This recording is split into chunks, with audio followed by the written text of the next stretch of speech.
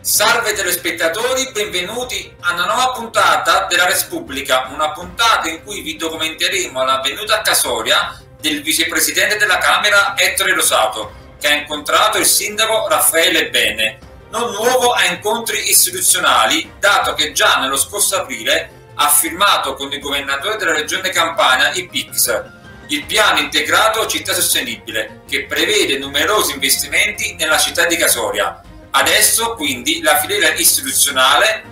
arriva fino in Parlamento.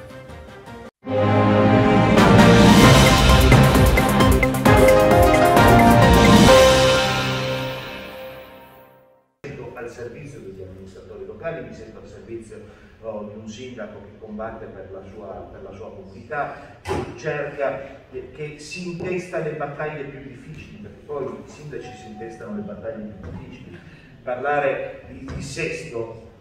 assumersi le responsabilità del dissesto e la responsabilità di un amministratore che vuole bene alla sua città. Alla sua città. Il problema sono quegli amministratori che non si assumono la responsabilità del dissesto e che continuano a tenere la testa girata da un'altra parte senza guardare quello che succede nella loro città. Ma chi si assume la responsabilità ha bisogno che le istituzioni regionali e nazionali siano lì vicine a puntellare, ad aiutare, a, a, a, sostenere, a mettere in campo quegli strumenti legislativi, amministrativi, economici che consentano di rimettere in sesto un'amministrazione che si occupa di 80.000 cittadini del nostro paese. L'unità che ci darà il PUC che andremo ad adottare, ripeto, ci metteranno nella condizione di essere l'unica realtà eh, strategicamente eh, predisposta a poter fare quei distretti.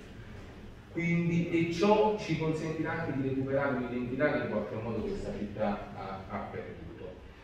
Uh, e ci porterà quindi ad una serie di investimenti strutturali che potranno, nell'ottica della sostenibilità, condurci nel passaggio da un'economia di carattere lineare ad un'economia circolare. Il cammino di crescita della nostra città sarà quello che farà sì che Casone possa tornare ad essere il comune di riferimento di un'intera area territoriale.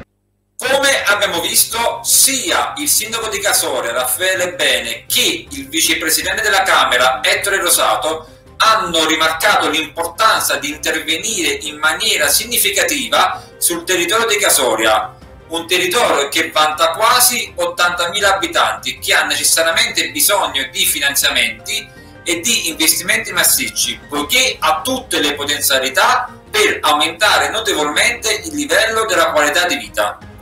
Arrivederci alla prossima puntata della Respubblica.